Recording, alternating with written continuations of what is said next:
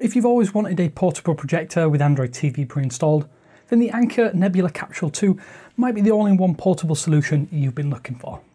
Thanks for watching 9to5 Google on YouTube. Be sure to thumbs up, hit subscribe and then enable notifications with the bell icon so that you don't miss any of our upcoming videos. Just look how small the Nebula Capsule 2 is. It's literally Android TV in a can and it comes with built-in Bluetooth speakers for one of the most comprehensive entertainment packages that can just about fit in your pocket. I'd say the design is superb as it's sleek, unassuming and to be honest it has a real weight to it that gives you the Olympia 2 a premium feel that I don't think many other portable projectors can really match at this sort of price point. There is the obligatory cutout window at the front for the projector itself along with the Nebula logo and up top there are capacitive touch buttons for control of the Android TV UI at the rear you also get a power button, IR receiver and the switch button which turns the Capsule 2 into a basic Bluetooth speaker. The port selection is by no means massive, but there is a USB Type-C charge port, USB-A port, full-sized HDMI port and a 3.5mm headphone connection if you want to stick in headphones or an external sound system.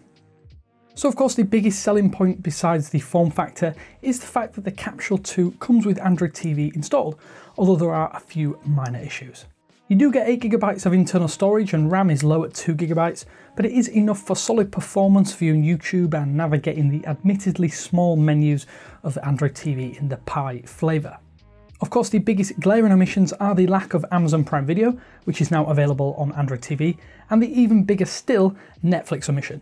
You have to sideload Netflix to get it working, but Anker has made that stupidly easy thanks to the Nebula Connect app.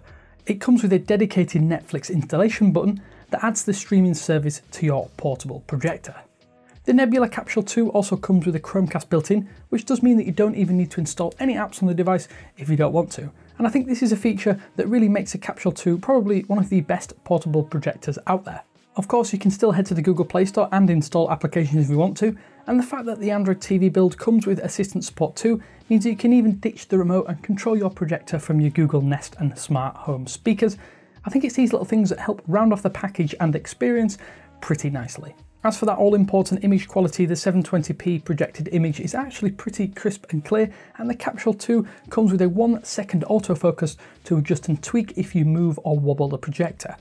To get the best image though, you'll want a matte white wall, but there are controls to adjust angles if you can't place the projector perfectly. That said, for perfect placement, you've got quite a solid range of between 23 to 121 inches from a wall or surface to project a viewable image. I'd say you get the best results from between 40 and 80 inches.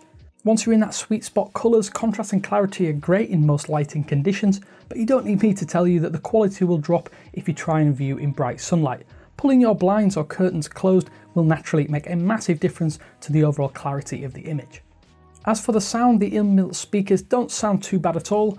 They are not going to replace a dedicated sound system, but with good placement the audio has plenty of bass when watching movies and gaming, but for better audio be sure to plug in some external speakers. The Capsule 2 comes with a 9700 mAh battery, which means that you don't actually need to be tethered to a power outlet to enjoy any movies you download or stream over Wi-Fi. In my experience, the battery can last in or around 3 hours, which is just about enough time to watch mainstream movies or a couple of episodes of shows like Game of Thrones for instance. Having a USB Type-C charge port is amazing too as you can use your existing charge cables and from 0 to 100 takes around about 3 hours. But for portability you can always plug in a external power bank for that extra longevity. So I think in summary with a price tag of over $500 the Nebula Capsule 2 is definitely not cheap but for portability interface experience and quality, it's a superb portable entertainment system that leverages the excellence of Android TV and Chromecast with a little extra here and there to make it a really exceptional purchase. It even has support for Kodi for those that want to truly cut the cord and bring their entertainment system with them everywhere. As always, let us know what you think of the Anker Nebula Capsule 2 down there in the comments section, and we'll leave links down there if you do want to check this nifty little projector out for yourself. With all that said, this is Damien with 9to5 Google saying thanks again for watching and I will speak to you later.